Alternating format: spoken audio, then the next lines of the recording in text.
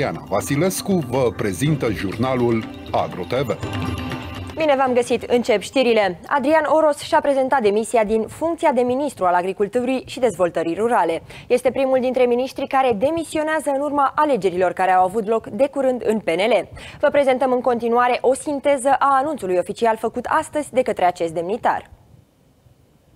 Pentru actualul premier, agricultura și industria alimentară nu au fost niciodată priorități, anunță acum după demisie fostul ministru al agriculturii Adrian Oros. El mai anunță că bugetul MADR pentru anul 2021 reprezintă 60% din execuția bugetară a anului 2020, iar la rectificarea bugetară MADR a primit o sumă absolut insuficientă. Din PNRR au fost excluse toate proiectele majore pentru agricultură, deși în primul draft trimis la Comisia Europeană, planul conținea proiectul complex pentru gestionarea apei în valoare de 6,5 miliarde de euro, alături de proiectul rețeaua de depozitare, procesare și distribuție a produselor românești. Nu există suficientă determinare pentru eradicarea activității samsarilor, a vânătorilor de subvenții și a pieței negre, care afectează fermierii corecți, așa că orice subvenție devine ineficientă. Sunt afirmațiile făcute de fostul ministru al agriculturii.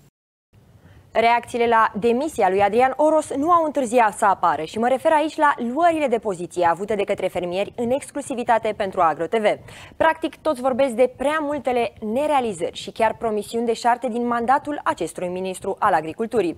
V-am pregătit un material cu reacții ale fermierilor importanți din mai multe județe ale țării. Sigur, multe dintre opiniile lor sunt și ale majorității lucrătorilor din acest domeniu. Cred că chiar dacă nu-și dădea dânsul demisia, oricum ar fi fost schimbat în funcție. Pentru că la noi e cam sport național. Cine este bun, trebuie schimbat din funcție. Așa că nu este nimic nou. Cam atât am avut de spus. Divergențele între ministrul Oros și primul ministru au apărut odată cu depunerea primului draft la Comisia Europeană, unde la poziția agricultură era acel proiect de gestionare a apei care a fost, a fost în final respins de comisie. Îmi pare rău că acest ministru spune că este și profesor universitar și e și medic veterinar. Păi dacă ești medic veterinar și tu n-ai reușit ca ministru să stârpești eh, sau să stăvilești în România să pesta porcina africană, le-ai dat în plus la salarii încă câte 10.000 de lei, am înțeles, la fiecare medic veterinar, dar fără să facă absolut nimic. Toți medicii veterinari din România șovează, n-au nicio activitate. Și această gripă merge în continuare și facem distrugeri de zeci de mii sau sute de mii de porci, N-are ce căuta acolo. Să ducă să-și vadă de treabă. Să ducă la, nici la catedre n-are ce căuta, că îi învață pe aia prostii. Avem și o veste bună. Uh, domnul ministru Oroș uh, și-a uh, depus demisia astăzi. Consider că este unul dintre miniștrii care nu și-au, nu și-au onorat cu adevărat funcția pe care a primit-o, fiind o funcție politică. Uh, ajungem să regretăm uh, ceilalți uh, miniștri ai agriculturii, de departe cel mai bun ministru fiind domnul Petre Daia. Sperăm ca viitorul ministru al agriculturii să fie mai aproape de, de fermieri și să ducă o politică pentru dezvoltarea agriculturii. Fac acest video ca o reacție a demisiei domnului ministru al agriculturii în ceea ce privește uh, pe plan personal sau pe planul fermei pe care o dețin, uh, fermă de bovine uh, pe lapte, nu, nu mă, las, mă lasă practic rece. Din ce motiv? Subvențiile din an la an s-au, s-au micșorat Uh, prețul laptelui, îl știți și dumneavoastră care este, este unul de, derizoriu. Uh, nu am fost uh, susținuți, nu am fost nici cu fonduri europene, tot ceea ce am făcut am făcut din buzunarul propriu. A mai dispărut un ministru al agriculturii. Acum a venit demisia lui Adrian Oros din motive de echipă câștigătoare. Mai importante decât renunțarea la mandatul de agricultură sunt plusurile și minusurile lăsate în urma activității de la MEADR. Urmează o analiză pe acest subiect făcută de realizatorul Cătălin Lența. Agricultura românească a rămas fără conducător și asta tocmai în zilele în care Ministerul de Resort numără roadele bogate, sau cel puțin așa le-a anunțat cu puțin timp în urmă. După o poveste cu final oarecum previzibil pentru cine cunoaște cât de cât politica românească, Adrian Oros se întoarce la Cluj, la catedra de la USAMV. După aproape 2 ani la MADR, medicul veterinar Oros se întoarce să predea toxicologie și toxicoze studenților care în viitor vor fi aceia care se vor strecura prin sistemul pe care chiar domnia sa l-a condus ceva vreme. În mod normal, la fiecare final de mandat trebuie făcută o dare de seamă și o analiză. Credem că cel mai potrivit pentru a emite judecăți este fermierul, a cărui soarta a depins 2 ani de ideile și inițiativele domnului Adrian Nechita Oros. Ce putem face noi este doar să amintim câteva lucruri, fără niciun fel de interpretare. Și primul care ne vine în minte, deși se aglomerează multe, este faptul că România nu va avea un sistem de irigații modern și vital pentru că nu are bani, iar zgârcita de Comisie Europeană nu a vrut să dea de la ea banii necesari. Evident că nu facem din asta o vină fostului ministru, mai ales când aflăm, după cum spune chiar domnia sa, că a fost singur în lupta pentru binele agriculturii românești. Și iată ce spune acuzator domnul Oros și citez. Pentru fremierul Florin Câțu, agricultura și industria alimentară nu au fost niciodată priorități. Ca atare, bugetul MADR pentru anul acesta reprezintă 60% din execuția bugetară a lui 2020, cu efecte asupra programelor aflate în derulare. La rectificarea bugetară, MADR a primit o sumă infimă, absolut insuficientă. Am citat exact, ca să nu fie loc de interpretări, dar pot să mă întreb, alături de dumneavoastră, de ce banii au fost așa de puțini?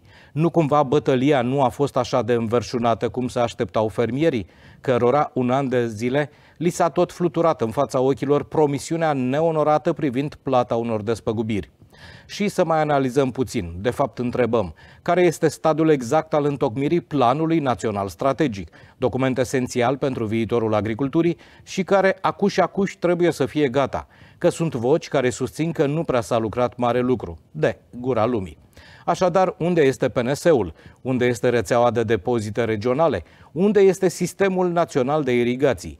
Păi să-l ascultăm din nou pe domnul Oros, care spune că a încercat tot ce se putea. De exemplu, PNRR-ul, care tocmai a fost aprobat, nu cuprinde, citez din nou, niciun proiect major pentru agricultură. Știam. Asta, deși în primul rând și în primul draft trimis la Comisie în noiembrie 2020, PNRR conținea un proiect complex pentru gestionarea apei în agricultură, irigații, desecare, drenaj și sistem antigrindină, în valoare de peste 6 miliarde de euro. Era un proiect asumat în programul de guvernare, alături de rețeaua de depozitare, procesare și distribuția produselor românești, alt proiect care nu a mai avut loc în PNRR, după cum a scris ministrul pe pagina sa de Facebook. Vă propun să ne oprim acum, pentru că timpul este, din păcate, prea scurt. Și vă invităm pe dumneavoastră, fermierii, țăranii și locuitorii de la sate, să cântăriți, dar scurt ca agricultura merge înainte. Să vedem cu cine, că așa cum știm, locul nu rămâne multă vreme neocupat. Iancu Polifronie, președintele Asociației Crescătorilor de Ovine din Dobrogea, a vorbit din perspectiva viitorului ministru al agriculturii. El susține că oricine va fi numit ar trebui să fie un bun manager care să știe să asculte specialiștii pentru a lua decizii pertinente. Dacă acum nu se pornește căruța cum trebuie, nu vreau să mă gândesc ce se va întâmpla în următorii ani cu agricultura românească. Este avertismentul acestui cunoscut crescător de ovine. Îmi doresc de la viitorul ministru al agriculturii să fie un manager bun. Pentru că specialiștii suntem noi. Noi venim și prezentăm realitatea din, de acolo, de la firul ierbii. Fiecare pe sectorul lui. Zootehnie, ovine, bovine, uh, caprine, uh, cultura mare. Sunt oameni care au demonstrat în ceea ce fac și au demonstrat că au făcut bine ce în exploatațiile lor să uh, să vină să expună problemele așa cum sunt reale și împreună cu viitorul ministru care mi-a dorit tot sufletul să fie un bun manager, să putem să implementăm absolut toate lucrurile ca viitorul plan național strategic, care din punctul meu de vedere este salvarea agriculturii românești și deja este, suntem în al trecut de ceasul al 12-lea, din informațiile mele neoficiale, să folosesc și un termen din presa românească pe surse, da? Uh, nu s-a transmis absolut nimic către uh, Bruxelles. Suntem încă la uh, nivelul de analiză SOT. Această analiză SOT este discuție de acum 2 ani și ceva. Nu este posibil. Deci, viitorul ministru va avea o misiune nu grea, foarte grea. Vreau să transmit pe această cale un mesaj către viitorul ministru, atât în mine, cât și în colegii mei va avea un, uh, un colaborator, un om care îmi voi pune pe masă toată puterea, toată știința, absolut tot ce am eu în mine ca să facem ceva cu adevărat pentru această țară, pentru că vorbim de viitorul agriculturii românești, vorbim de producătorul român și pentru o perioadă de 10 ani de zile. Deci dacă acum nu se pornește căruța, ca să spun așa, neacademic, da? Cum trebuie, nu vreau să mă gândesc la, la, la ce se va întâmpla în, în viitor în agricultura românească. Adrian Oros a părăsit Ministerul Agriculturii. În exclusivitate pentru AgroTV, într-o radiografie a mandatului lui Oros în fruntea MADR, Daniel Botănoiu, președintele Asociației Fermierilor din România, a făcut comentarii dure cu privire la prestația ministrului. Să urmărim o sinteză din declarațiile făcute. De fiecare dată știți că și aici, în emisiunea dumneavoastră și bă, acolo unde am avut ocazie, am spus că a avut un mandat deplorabil deplorabil ca ministru, deși bă, ca om este un om uh, respectabil, un om cult, e un profesor. Dar, din punct de vedere al uh, sectorului agroalimentar, uh, cred că uh, nu s-au întâmplat lucrurile care trebuiau să se întâmple. Uh, știți foarte bine că și-ați țintuit mai devreme că ne așteaptă luni de foc. Uh, eu spun că până acum trebuia regional discutate programul național strategic, măsurile care trebuie implementate și mai ales uh, Ovidiu trebuia discutate de pre, despre uh, modul cum trebuie să se implementeze aceste ecoscheme. Dumnealui a ales uh, calea asta scurtă, calea prieteniei și s-a consultat cu cine a crezut dumnealui să fie sănătos. Am văzut, deci cât a stat aici Ovidiu, Uh, transparență în discuții zero, uh, consultări aproape de zero, uh, a fost un ministru care mi-e greu să aleg cuvintele, îți dai seama că m-am abținut ca să nu ai după aceea discuții. Un ministru care a preferat să-și Uh, ascundă rumurile, deci uh, să uh, fugă de responsabilitate, un ministru care n-a știut să împartă puterea, deci cu secretarii de stat, un ministru care n-a avut o agendă foarte clară, un ministru care într-un final n-a făcut decât să ducă înapoi ideea asta de sector economic profitabil.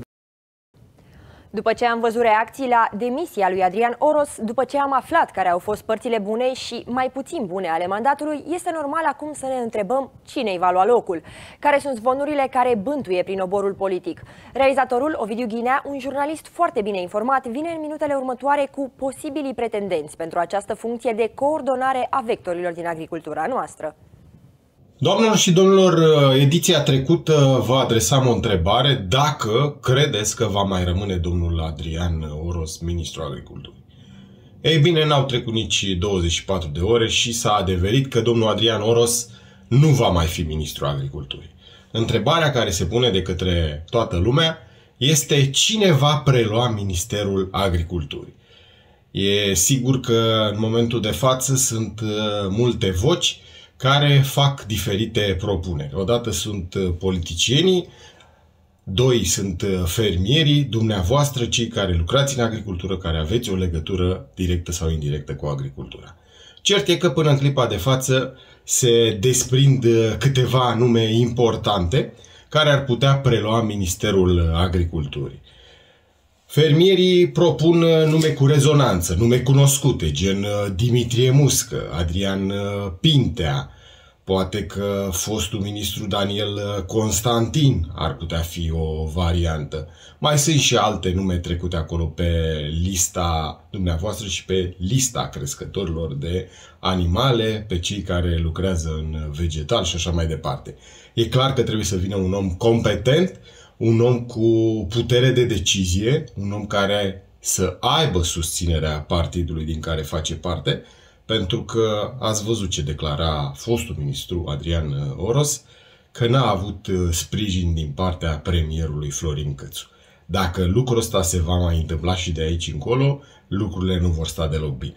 Așadar, să sperăm că persoana care va conduce Ministerul Agriculturii se va bucura pe lângă sprijinul fermierilor și de sprijinul guvernului, pentru că sunt multe lucruri de înfăptuit în perioada următoare. Ce vă pot spune că aici la AgroTV, la Agricultura la raport, veți afla numele viitorului ministru al agriculturii. Așadar, urmăriți pe mai departe edițiile noastre, ascultați cu mare atenție dezbaterile noastre, participați la ele, pentru că cred că v-ați obișnuit, vă oferim de fiecare dată informații credibile, informații verificate. Mulțumesc pentru încredere, urmăriți pe mai departe AgroTV. A face afaceri în agricultura României înseamnă să o iei cu adevărat de la zero. Pentru că nu vorbim numai de investiții în utilaje și echipamente, vorbim de investiții și în utilități, apă, canalizare și nu numai. Membrii unei cooperative din zona Banatului care se ocupă de procesarea laptelui s-au lovit de aceste practici. Agricultorii au fost nevoiți să facă investiții suplimentare în utilități, investiții care, spun ei, ar fi trebuit suportate de administrația locală rurală. Reușiți să ajungeți în marile magazine cu aceste produse? Fac parte din cooperativa Team Lactagru. Ne-am făcut și fabrică de lapte. Din păcate am făcut-o la, într-o comună, în Bucovăț, în județul Timiș, o comună unde nu era propice să facem fabrică de lapte, din cauza că acolo apa nu este curată, a trebuit mai lunile trecute să investim o grămadă de bani, am dat de euro să facem apa de calitate, acum având apă de calitate, și, dar nu avem de calitate, nu este uh, apă curentă, nu este uh, canalizare. Din moment ce nu e canalizare, foarte greu vitanjăm, foarte mulți bani plătim pe vitanjarea uh, apei la care procesăm laptele. Înțeleg că dacă nu există infrastructură și afacerile în domeniu merg foarte greu. Ne descurcăm foarte greu, Bucovăț e o comună care foștii primari nu e interesat să facă utilitățile astea, deși este aproape de Timișoara și trebuia să fie, fiindcă suntem într-un secol în care ar trebui să fie toate utilitățile, mai ales comunile și satele care sunt aproape de oraș, ceea ce nu le avem, nu sunt. Cum vă descurcați până la urmă cu desfacerea? Reușiți să pătrundeți în marile magazine? Cu asta avem noroc, procesăm numai laptele nostru din fermă, produsele le-am făcut și le facem acum de o bună calitate și așa, cum am spus, producem laptele care este foarte greu de produs la un preț foarte, foarte mare și îl vindem la un preț foarte, foarte mic. În schimb, avem o apă de mare calitate acum la fabrică, poate ne gândim să nu mai procesăm lapte, să procesăm apă. Mai bine o să ieșim cu apa decât cu laptele. Prezent la evenimentul Țurcana, Regina Munților, Adrian Pintea, directorul general al APIA, vine cu vești bune pentru fermierii români. Potrivit acestuia, instituția pe care o conduce se află în grafic în privința controalelor care se realizează în această perioadă. Mai mult, având în vedere că inspectorii APIA vor finaliza controalele până la acea dată, toți fermierii vor putea beneficia de avansul APIA. Adrian Pintea i-a asigurat pe fermier de faptul că APIA este pregătită să-și îndeplinească angajamentele asumate și că plățile în avans vor începe conform calendarului la data de 18 octombrie 2021. Este o vorbă străveche care spune așa, muncă și veselie și pusă în practică vă garantez că dă cele mai bune rezultate. M-am convins din nou de acest lucru chiar astăzi într-o zi de toamnă autentică care m-a găsit tot în mijlocul fermierilor noștri dragi. Astfel m-am simțit simțit deosebit de onorat să particip la sărbătoarea crescătorilor de ovine din Costești, comuna Orștioara, județul Hunedoara. Întâlnirea a reprezentat un bun prilej pentru a discuta cu fermierii crescători de ovine despre anumite situații pe care aceștia le întâmpină, realizând totodată și agenda de lucru a agenției din perspectiva schemelor de plăți destinate sectorului zootehnic, a scris Adrian Pintea pe pagina sa de Facebook în urma evenimentului. Primii producători certificați în apicultura ecologică au fost înregistrați în anul 2000, iar de atunci numărul lor este în creștere. Structura exploatațiilor din apicultura ecologică cuprinde atât apicultori individuali cât și un număr de asociații de profil. Acestea sunt știrile bune. Informațiile mai puțin optimiste sunt că această ramură nu este susținută de absolut nimeni din aparatul de stat, iar urmările sunt cât se poate de nefaste pentru apicultori, dar și pentru noi, consumatorii. În principiu face diferența, dar nu există diferență la preț nesemnificativă între prețul mierii ecologice și prețul mierii convenționale. În schimb, avem anumite controle foarte severe, analiză foarte frecvent la produsele care le deținem și le comercializăm, ceea ce ne face să fim să fie consumatorii siguri că obțin un produs de super calitate. Putem uh, spune că mierea din uh, magazinele mari care vine din străinătate este sub prețul de vânzare real al unui produs natural, de ce nu și bio? Uh, prețurile sunt sub nivelul normal, la, analizând problema că valoarea banului în România este scăzută, prețurile sunt foarte mici. La, dacă ne compara cu valoarea Germaniei, prețurile sunt derizorii la prețurile mierii din România, dar față la venitul omului de rând, prețurile sunt ridicate. Ajutor din partea statului aveți în momentul de față care să vă acopere pierderile și până la urmă să impulsioneze acest segment al agriculturii? Din păcate nu există, minim pe economie nu s-a dat nici acest an. Singurele subvenții care le obțin pe medicamente, subvenția de motorină și am mai prins un fond prin GAL, mi s-a plătit inspecția certificării ecologice. Spuneți că aveți uh, miere ecologică, prețul uh, nu este atât de mulțumitor. Veți continua? Uh, nu am alternativă, sau renunț definitiv la apicultură și părăsesc România, sau rămân la nivelul și standardul actual. Urmează câteva minute dedicate promovării unor jucători din industria agro, după care continuăm jurnalul cu alte subiecte de interes pentru dumneavoastră.